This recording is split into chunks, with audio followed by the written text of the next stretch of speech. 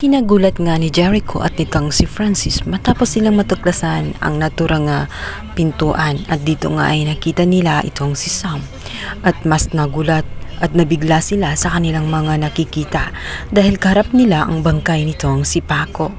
Nagulat sila. Sinabi ni Jericho na patay na itong si Paco kung bakit nasa loob ba siya.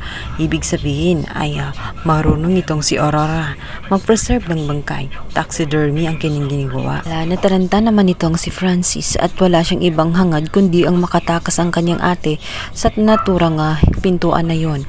Agad-agad ay hinila niya ang kanyang ate palabas. Samantalang itong si Jericho ay naiwan. Nagtataka siya kay Aurora at bakit nagawa niya ang bagay na iyon.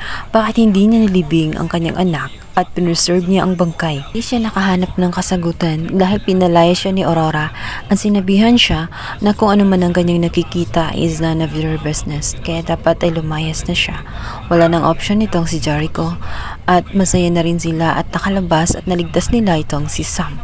Takot na takot si Sam, sinabi nito na nababaliw na ang kanyang biyanan sapagkat kung tratuhin nga niya si Paco ay tela hindi isang bangkay. Tinatrato niya ito na parang buhay, kinakausap.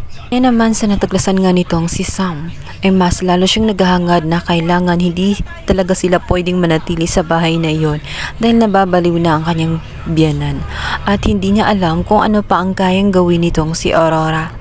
Ngunit nag-aalala siya sa kalagayan ng kanyang asawang si Paco. Nasa basement siya at pinipreserve ni Aurora. Alam niya kasi na may tungkulin pa rin siya sa kanyang asawa at sa tingin niya ay hindi mapalagay at hindi matahimik ang kaluluwa ni Paco kung naroon pa rin siya at hindi siya nalibing ng tama. Ina ni Aurora, sinabi nito na hindi pa siya tapos kay Sam. Kailangan pa umunong pagbayaran ni Sam. Ang ginawa niya kay Paco kung saan siya ang nagtulak sa bangin. Ngunit sinabi ni Sam na tapos na sila.